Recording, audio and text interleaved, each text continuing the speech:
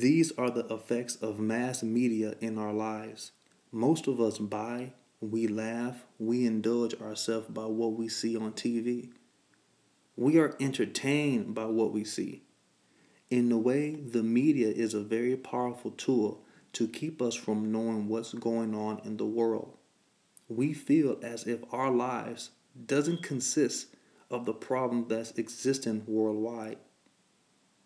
We are accepted by society based on the facts and the fashion that the media has imposed on us, and we become ignorant by choice.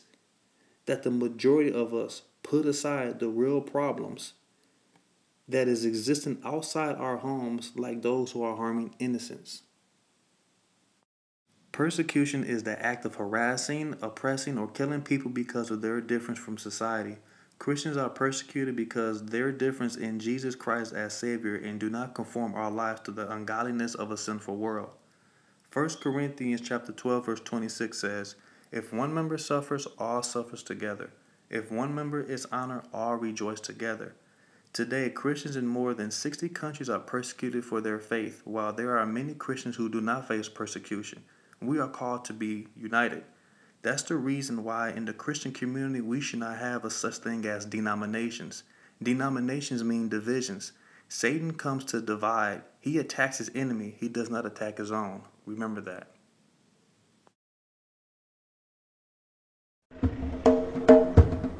A study released this month shows Christianity is now the dominant religion in sub Sahara Africa, where once Christians and Muslims combined made up less than a quarter of its population.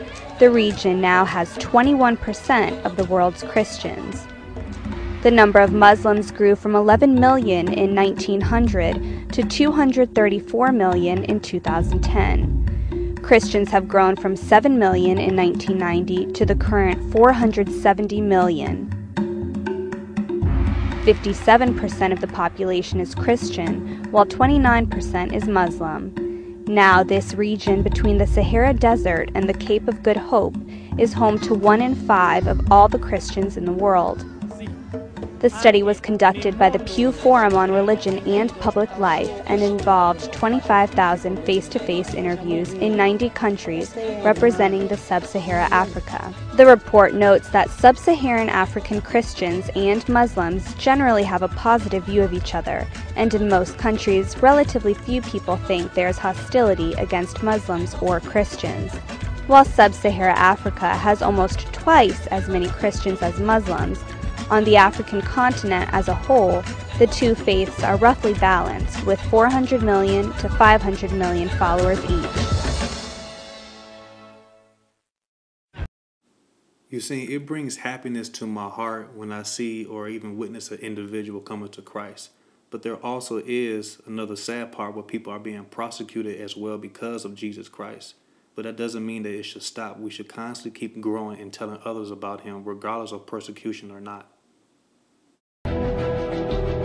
Latest attack on Christianity overseas. You got four Iranian Christians reportedly got 80 lashes for drinking wine during communion. This comes less than a week after Islamist gunmen killed four people, including two young girls, at a Christian wedding in Egypt. So why are Christians being persecuted abroad? And why isn't anyone talking about this? Fox News legal analyst Peter Johnson We're Jr. talking about it, and it's literally a fight for faith. Let's look at what's gone on just in the last month, Brian, and then let's talk about it. Nairobi, Kenya, September 21st, Islamist extremists attacked the shopping mall. You remember that? Targeting all non-Muslims. Remember there was a test whether you knew the Muslim religion. 67 killed. Then Peshawar, Pakistan, September 22nd, Taliban suicide bombers killed at least 85 at the All Saints Church. Then Iraq and Syria, September 27th, Islamist rebels attacked two Christian churches. October 4th, in Mombasa, Kenya, Muslims riot and set fire to a Christian community. There, four killed. And in Cairo, gunmen kill at least four, including two young girls, at a Coptic Christian wedding in Cairo. So if Christians are saying, what, what, are you getting me involved for? What's your problem with Christians? It's not like Christians are on the offensive. This is a horribly ignored issue. Um, the, the Christian population in the East has declined precipitously in the last century. They are under attack in the East and in other places around the world. A brilliant article in the Los Angeles Times by Mr. Nassatir yesterday pointed out that we're coming up on the 75th anniversary of Kristallnacht, the beginning of the persecution of the Jews by the Nazis. And he said, let's look at history. Let's see what's happening then and what's happening now.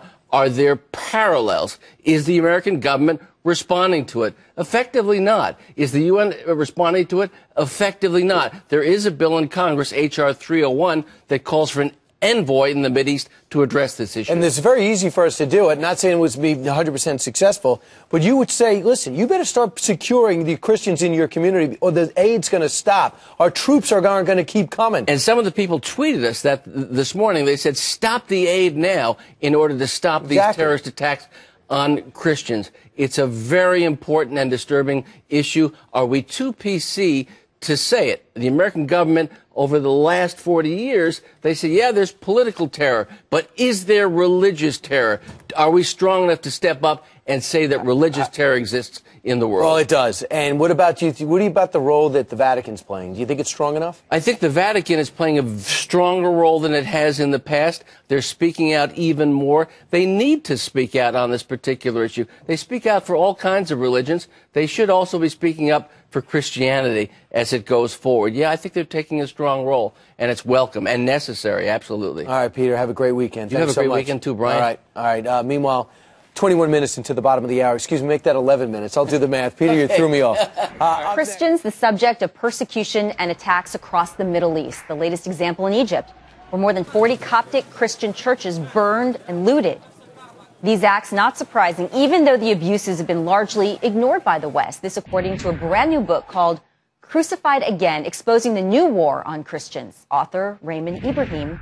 Pleased to welcome you. Thank you, sir, for joining us. How rampant is the persecution of Christians across the Middle East?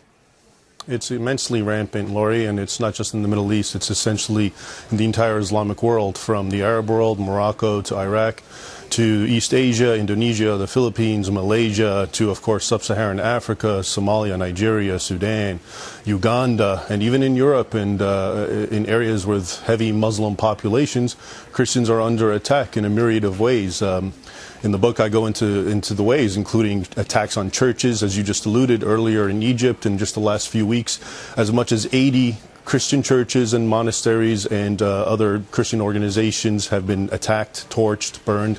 Christians are in hiding, including the Coptic Pope himself. Hmm. That's and uh, unbelievable. it's, it's just happening all over the Islamic world, and it's really not being mentioned. And it's, it's So, Raymond, let me come in here with this. crisis. And I know this isn't the most elegant way to ask this question, but throughout history, wasn't it always the Christians who were doing the persecuting? Why does it seem now the tables have turned? I mean, I, I, again, I don't know how, a better way to ask that question. No. I appreciate you know, what you're saying. Mm-hmm. I appreciate what you're saying, and what you're reflecting is basically the orthodox narrative of history, which unfortunately has nothing to do with reality. The fact is, what we call the Arab world today, from Morocco to Iraq and Syria and Egypt and all these nations, were part of the Christian world in the 7th century. In fact, they made up half of what was then the Christian world, and they were taken over by Islamic conquest and force. And this has gone on for centuries. And then they went into the the Ottoman Empire, came into Turkey, which of course is one of the oldest Christian regions, taken by bloodshed. Went into the Balkans and Greece, and was stopped finally at Vienna. Uh, the fact is, uh, the, the the people who have persecuted and what we're seeing today has a long continuity with Islamic history. And the reason that we're not aware of this is it's not taught any longer Yeah, because why it's is politically that? Why do you think the West. Western media, Western academia is indifferent to the plight of Christians in the Muslim world? Well, there's a lot of reasons. I think one one of them is, uh, as I was pointing out earlier, there's a sort of uh, uh, you know ingrained bias against Christians in the mainstream media, in, in amongst liberal circles, in academia, wherein Christians, as you just pointed out, are the historic persecutors and intolerant ones. And so you take that fact on the one hand, then you take the other fact, which is the people who are persecuting them left and right are now Muslims, and you realize that both of those narratives do not fit the mainstream paradigm because the politically correct narrative is such that Islam is peaceful, and hmm. here you have from one end of the Islamic world to the hmm. other in nations that don't share anything, not race, not language, not socio-economic circumstances. And you go the so far as to suggest that the. Obama administration, the Obama administration is enabling this persecution. The Obama administration is enabling it in the sense that, especially in the guise of the so-called Arab Spring, which has proven to be a disaster, in countries from Libya, in Egypt, now in Syria, the Obama administration has been very supportive of the Islamist organizations like the Muslim Brotherhood.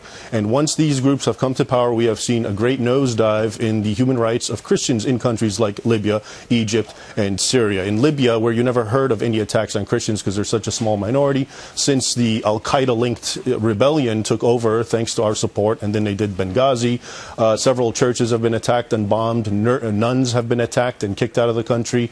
In Egypt, under Morsi's one year of tenure, uh, so uh, well over a dozen Christians were attacked and thrown in prison in the context of blasphemy, breaking the blasphemy law by insulting uh, Islam. Hmm. Wherein in the 30 years of Mubarak, none of that really happened. And now in Syria, the people that we are defending and, and talking about their human rights are in fact the ones who are violating the human rights of Christians and secularists and non-Muslims and Alawites. And in fact, there's a good there's good evidence if okay. you ask other people, including people on the ground that the ones using the chemicals are the Syrian linked Al Qaeda hmm. jihadists. Mm. Well, you are certainly a historian. Certainly well versed and well read, and thank you for thank you. illuminating this topic. Uh, Raymond Ibrahim, and once again, the book is called Crucified Again, on sale now online and in bookstores everywhere, or you can check out loudobbs.com for links. Thank you again. Thank okay. You. And from Egypt this morning, the story of a young girl calling on President Obama to save her family. She's 15 years old. Her name is Dina El Gohari, and she's written an emotional appeal to the president. She's asking him to use his influence to save her and her father from religious persecution. The two are converted Christians, and they live in a part of the world where conversion can mean death. They are also asking help for help to get to America. And Dana Lewis has been following this story for us. He's stream, streaming live to us this morning from Cairo, Egypt. Uh, good morning, Dana. Hi, Martha. You know, I mean, there is a new wave that Christians say uh, here in Egypt of, of, violence and discrimination. In this particular case, this man and his 15-year-old daughter who tried to convert from being Muslim uh, to Christians were unsuccessful in the courts and right now they say that they are on the run. We've been following them. They are indeed living in fear for their lives. Egyptian Maher al-Gohari and his 15-year-old daughter Dina never pray twice at the same church. Never stay longer than a month in one apartment, constantly under threat, always on the run. Born Muslims, they became Christians after both of them say they had religious visions. Al-Gohari says he is being hunted. The Muslim uh know us. Uh, then beginning, uh, somebody tried to kill us. They will try to kill you? Yes. Several religious fatwas were issued for spilling his blood after Maher asked an Egyptian court to legally recognize his conversion. The court ruled even in a country that claims to recognize religious freedoms, a legal conversion to Christianity would threaten public order. There are anywhere from 8 to 14 million Christians in Egypt. Earlier this month, three Muslim men sprayed gunfire at a church in Upper Egypt, killing six Christians and wounding up to a dozen more. Christians rioted the next day. Dina has written a letter to President Obama asking for help. You said the Muslim minority in America are treated very well. So why are we not treated here likewise? We are imprisoned in our own home. I'll tell you uh, that we followed these two for a day here in Egypt. Uh, I won't tell you where they are for their own safety. They're not in Cairo anymore. Uh, but they have now uh, appeared before the U.S. Embassy a few days ago, and also what's known as the U.S. Committee for International Religious Freedom uh, that has been here from America. They are asking for asylum for refugee status to get out of Egypt. They feel that they can't live here anymore. Back to you, Martha. Right, I'll see. Uh, interesting to see if they get any response uh, to their plea here in the United States. Dana, thank you very much. Dana Lewis with an interesting story from Egypt this morning. Matthew chapter 10, verse 21 and 22, and Matthew chapter 24, verse 8 through 14.